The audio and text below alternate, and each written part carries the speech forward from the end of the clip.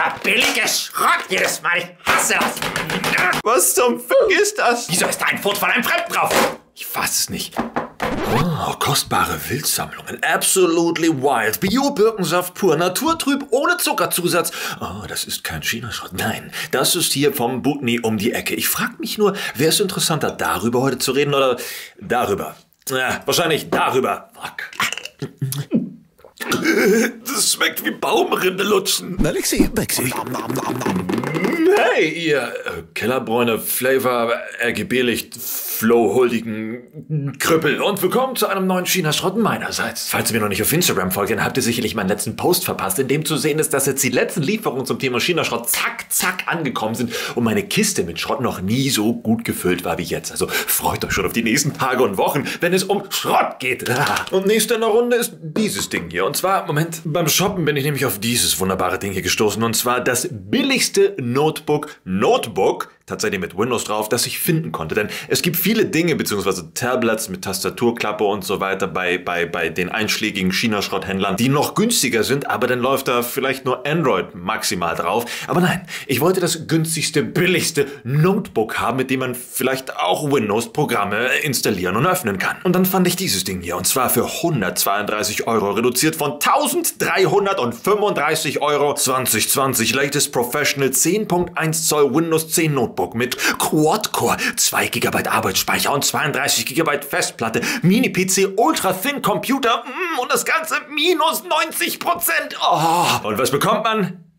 Das. Ja, ich erwarte das Schlimmste, aber hoffe das Beste. Wobei tue ich das? Ähm, nein. Netbook 10.1 Zoll. Auf der Oberseite nix. Rechts nix. Links nix. Unten nix. Und Rückseite. Oh. Netbook 10 plus äh, Punkt, Punkt 1 Zoll. Ah, lass aufmachen. Oh. Ah. Wieso ist das immer... Oh Gott. Wenn ich so eine Dinger schon sehe, dann spricht es, dann schreit es nach Qualität. Proprietäres Netzteil. Und? Oh, oh, das ist aber, das ist aber großzügig eingepackt. Oh, oh. Was war das? Oh. Please read the manual before using the notebook. Okay. Hm. Ah, hier steht ein bisschen was, okay. Eins, Leerzeichen, Punkt, kein Leerzeichen, Frontkamera, Bindestrich, Webcam. Use this camera for your video calls or to take pictures. No shit, Sherlock. Nummer zwei. Screen! the touchpad lets you enjoy the features of a mouse, head and microphone jack. Head? Ist das Ding von 1998 oder was? Oder für Boomer gemacht, weil so reinstecken, so anmachen und that's it. Der Rest guck im Internet nach, du Spaß. Ah. Hm? Ist das. Oh mein Gott. Oma. Es ist pink aber nicht schön pink wie das Razer. Es ist, äh, es ist, äh, oh, mein Gott. Und es wiegt, es wiegt nichts. VTech-Computer? Äh, auf der Oberseite nichts. Auf der Rückseite nichts. Auf der linken Seite Anschluss zum Laden, USB 3, HD Mini-HDMI-Anschluss. Und rechts MicroSD, Head-Anschluss und USB 2. Oh, Lautsprecher, die sind bestimmt Quality very good. Kann man es auch mit einer Hand aufmachen, wenn es äh, normal auf dem Tisch liegt? Da, da, da, da. Nein, natürlich nicht. Wieso kann einfach kein verficktes billiges Notebook mit einer Hand aufgeklappt werden? Warum ist immer dieses scheiß Scharnier so eine billige Scheiße? Ah, fuck. Oh, man kann es wieder so schön überdehnen. Hallo? No, no, don't touch me there. This is my no, no square. Nice. Jesus Christ. Tipp mal ein bisschen drauf rum. Hallo, du kleiner Arsch. Ausrufezeichen, Enter. Hm. Vom Tippgefühl tatsächlich so wie Notebooks aus der Steinzeit und so klein, dass ich gerade mal so mit meinen Fingerspitzen da drauf komme. Aber die Gefahr, sich zu vertippen, wenn man doppelt tippt, ist schon relativ hoch. Ich weiß nicht, für meine Hände ist absolut nichts. Ich bräuchte mindestens solche Tastengrößen. Nun gut. So rein von der Verarbeitung her, das ist halt Wow. Zu doll niesen und das Ding bricht auseinander. Es besteht praktisch nur aus Plastik. Ich würde mich nicht wundern, wenn auch der Akku komplett aus Plastik bestehen würde. Nun, mal gucken, was man mit dem Ding so machen kann. Lass mal anschalten. Intel. Wieso ist es so? Warum nicht so? Wieso? Soll man das so benutzen? Im Buchformat? Oh, ich hasse es jetzt schon. Administrator. Jetzt ist das Bild auf einmal so. Das ist aber sehr freundlich. Jesus Christ, das dauert lang. Das Interessante dabei ist natürlich immer, dass man es gar nicht einrichten muss, sondern man macht es an und schwupps ist alles fertig. Es scheint vielleicht eine Windows-Lizenz zu sein, die nicht ganz so legal seinen Weg da drauf gefunden hat. Hm, wer würde denn hier Böses vermuten? Wenn man mit dem Finger auf dem Touchpad herumswiped, dann hat, äh, dann hat die Maus noch so einen ganz sanften Nachzieher, so, ein- so, so ein Mini-Delay, als ob, oh mein Gott. Klick. Hallo, klick. Ah, Front Photo, Resend Files. Hm? Hallo? Was ist das? Das ist, das ist nicht von hier.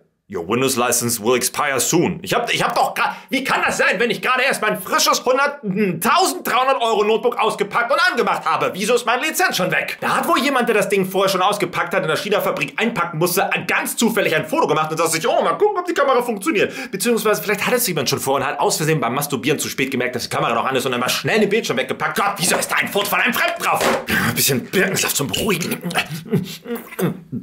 Ja. Wobei ich muss zugeben, der Bildschirm oder das Scharnier knackt zwar wie Sau, aber er erinnert gar nicht so schlimm an die gute alte Zeit, in der man die Bildschirme noch hochklappen musste, um in dunklen Passagen auf illegal gecrackten Filmen etwas sehen zu können. Das ist tatsächlich ein Display, das sich für diesen Preis sehen lassen kann. Manche portablen Konsolen, ich meine aber nicht die Switch, haben ein definitiv schlechteres Display als dieses Ding hier. Von daher Props für das Display. Lass uns mal gucken, was wirklich drin steckt. Made by Shenzhen XF Technology Co. Limited. Intel Atom X5 Z8350. Eine Intel HD Graphics. Oh, da kann ich mich ja glücklich schätzen, keine 1335 Euro dafür gezahlt zu haben. Oh. Jetzt fragt man sich natürlich, was kann man mit sage und schreibe 32 GB internen Speicher beziehungsweise noch verfickte 13 freien Gigabyte auf so einen Kackding machen? Die Antwort ist ganz einfach. Nichts. Denn man weiß nicht, was bei diesem schon vorher installierten gecrackten Windows für Backdoors von irgendeiner Firma von dort drüben drin sind, die dann, wenn ihr fleißig all eure Dinge da installiert und Daten eintippt, dann schön nach Hause telefoniert werden, damit die dann Identitätsdiebstahl machen können und wahrscheinlich irgendwelche gecrackten Konten, Lizenzen und bla dann auf das nächste Gerät spielen und verkaufen können. Für viel zu viel Geld immer noch, obwohl es immer noch billiger Schrott ist. Lasst uns das verfickt mal gesagt haben und hört auf, eure sensiblen Daten auf so einen Schrott einzutippen. Weil es gibt immer noch genug Leute, die diese Scheiße für viel zu viel Geld kaufen. Wenn etwas extrem billig ist oder sogar umsonst, dann zahlt ihr nämlich mit etwas, das unbezahlbar ist und zwar euren verfickten Daten. Aber ich will ja mal nicht so sein. Wir gucken trotzdem, was man vielleicht mit diesem Ding noch machen könnte. Ah. Nehmen wir doch mal eine Speicherkarte, die ich danach definitiv wegschmeißen werde. Komm mal, komm mal. Ah, aua. Ein bisschen lauter machen? Nee, ein bisschen lauter machen? Oh, ist schon auf 100%. Wow, dann sind die Boxen ja echt scheißdreck. Dieses verschissene Mauspad, das gleitet so hin und her, man kann damit nicht mal was vernünftig treffen. Wow, immerhin, das ist ja weird. GoPro-Aufnahmen lassen sich damit fast flüssig abspielen. Schade nur, dass der Ton scheiße ist. Hätte ich jetzt nicht gedacht, sogar direkt von der Speicherkarte. Wow. Oh ja, Chica-Bilder sind hier drauf. Oh, wer erinnert sich noch an dieses wundervolle China-Schrott? Man kann auch die Bilder laden. Oh. Okay, das dauert ein bisschen. Ist ja sonst noch irgendwas Perverses drauf, was jemand vergessen haben könnte oder so? Äh, äh was? Win 10 Jungwang Pinkeshu. Checking Network. Check if Network is open. Oh, bestimmte creepige Hack-Software oder so. Dann gehe ich mal wieder über meinen Hotspot rein. Hm? Checking Network. Please wait. Trying Server. Key Management Service. Key Management Service Machine Name set to blah successfully. Oh, ich dachte, ich hätte jetzt. Oh, schade. Ich dachte. Hm, Windows is activated using your organization's activation service. Nice! Wenn illegale Tools schon bei den China-Schrottdingern mitgeliefert werden. Oh, geil! Das heißt, jetzt kann ich mich richtig austoben und alles Mögliche installieren. Ah, womit fange ich an? Portobello. Hm, ja, leckere Vitalpilze kaufen. To, äh, wieso? Wie, wie? Nicht mal diese illegale Scheiße von denen funktioniert vernünftig. Ding hängt. Jetzt ist das Internet abgekackt diese scheiß WLAN-Anbindung nicht. Oh, finally. Okay, was haben wir denn da hier? Oh, nee, wenn ich Bullshit sehen will, kann ich auch einfach Twitter aufmachen. Ja, was haben wir noch? Kann doch nicht wahr sein. Das kann doch nicht wahr sein. Es ist beim fucking Scrollen, muss er noch mal laden. Was zum...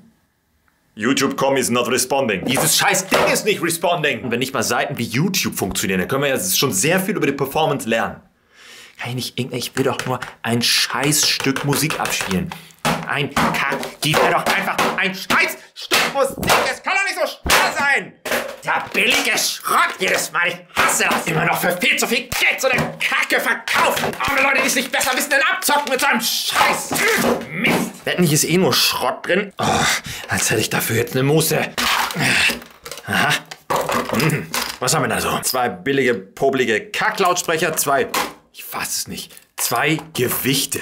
Zwei fucking Gewichte. Komm schon raus. Das ist im Grunde der ganze Computer. Sieht aus wie ein zusammengestampfter Raspberry Pi, weil alles in so eine Ebene ist. Für das Geld lohnt es sich eher ein Chromebook zu besorgen oder dann vielleicht nochmal 50 oder 100 Euro drauflegen und hat man wenigstens so ein ganz schrottiges Office-Notebook, was aber wenigstens Hand und Fuß hat. Das hier ist pure Scheiße. Ah.